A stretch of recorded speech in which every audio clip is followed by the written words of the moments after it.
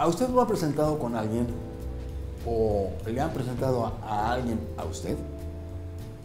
¿Sabe usted que hay un protocolo muy claro para las presentaciones?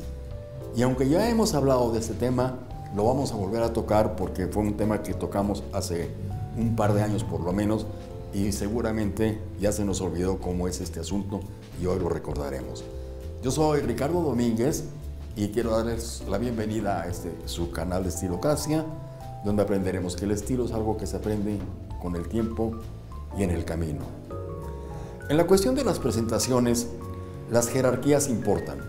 Son jerarquías tanto formales como sociales. La persona de mayor jerarquía es la que recibe a un presentado. Nunca al revés, nunca la persona de mayor jerarquía es presentada a los de menor jerarquía.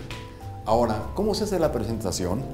Si usted es quien va a hacer la presentación, tiene que saber hablar muy bien, pronunciar muy bien las palabras y ser muy claro y estar seguro de que le están entendiendo lo que dice. Usted va a presentar a Juan con don Pablo. Don Juan, quiero que conozca usted a Pablo.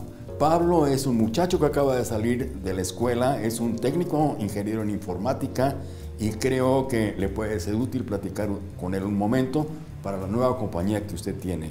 Pablo, don Juan, que es el presidente de nuestra compañía, está muy interesado en platicar contigo. Así es como se hace una presentación y tiene usted estar, que estar seguro de que los nombres se entendieron y que de las, los estatus profesionales o sociales de cada quien fueron perfectamente comprendidos por ambas partes. Ahora, si usted no entendió bien el nombre de quien le está presentando, usted puede decirle, perdón, ¿su nombre es Juan? ¿Juan qué? Ah, correcto, muchísimas gracias. Yo por mi parte soy Pablo Fulano de Tal. Así es como se hacen las presentaciones como amigos, muy claros y tomando el tiempo suficiente para que ambas partes entiendan los nombres y las situaciones de cada uno de ellos. Pero tenga en cuenta siempre que las jerarquías importan e importan mucho y que la forma en que usted presente es la forma en que usted va a quedar o muy bien o muy mal con ambas partes o por lo menos con la persona de mayor jerarquía que seguramente conoce estos protocolos de presentación. De manera que tómelos muy en cuenta, anótenlos y no, se le, y no le vayan a fallar estas, estos puntos cuando presente a alguien con alguien.